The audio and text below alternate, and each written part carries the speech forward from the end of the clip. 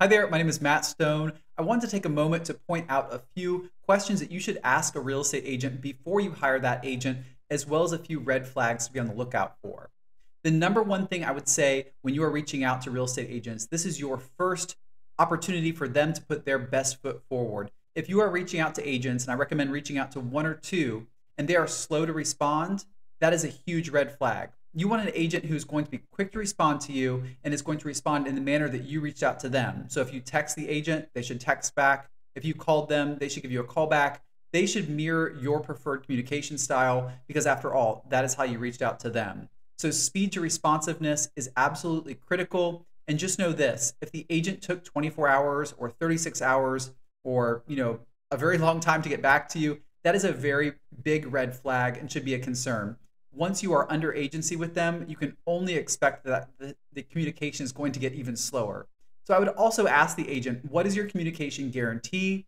What happens when you're out of town? What if our ideal property hits the market and you're on vacation? What do we do? Who fills in for you while you're out of town? They should have an answer to this and it should be fluid. You'll find with a lot of one person shows that oftentimes when they are on vacation or they are out of town, there's no one else available to show you that property. And nothing is worse than missing out on your dream home because your agent just happens to be out of action.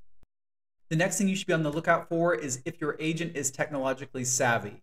If your agent doesn't use things like a digital super key to open up front doors, or if your agent doesn't seem to grasp um, smartphone communications, and certainly if your agent does not use electronic signing or e signing, that is a huge red flag. If you are a person that is bothered by the process of having to print multiple PDF documents hand sign them, scan them, and email them back to your agent, then you are going to really be put off by an agent that does not use technology.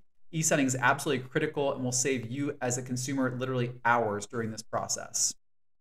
The next thing I would say is once you have began communicating with your agent, you're maybe on a showing or two, you've had an opportunity to hear them out, listen to their spiel.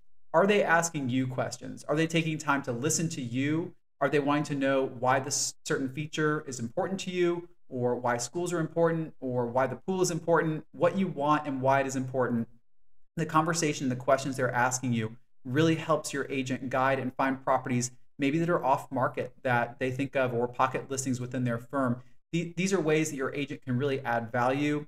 And if you find that you're with an agent that does all the talking and none of the listening, that can be a huge red flag and pretty annoying.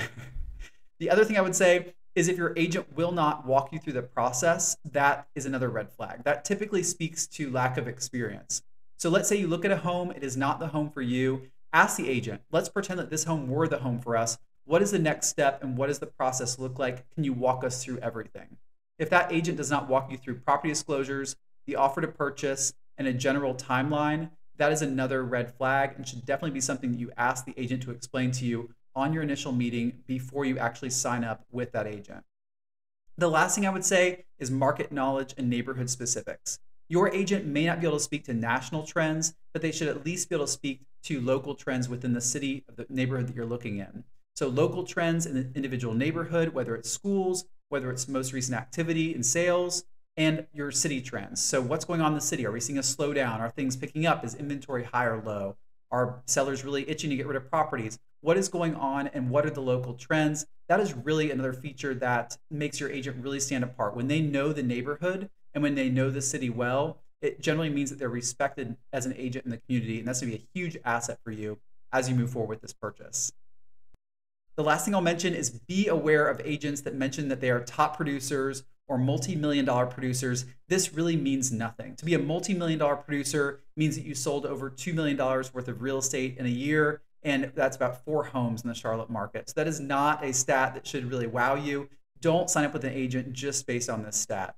Look for agents that will actually put concrete numbers behind what they're sharing with you, but don't sign up for folks that razzle dazzle you with all their titles or acronyms after their name or whatever they may have.